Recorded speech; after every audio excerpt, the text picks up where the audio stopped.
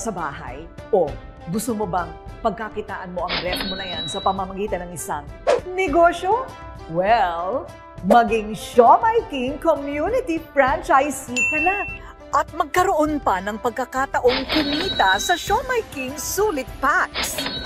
Sulit sa sarap, sulit pa sa kita. You've got goals. House goals, car goals, travel goals, kaya naman dapat income goals ka rin. Maging Show My King community franchisee na at kumita sa Show My King Sulit Packs. 140 pesos lang. 40 pieces na. Sulit sa sarap, sulit sa kita. Mapa breakfast.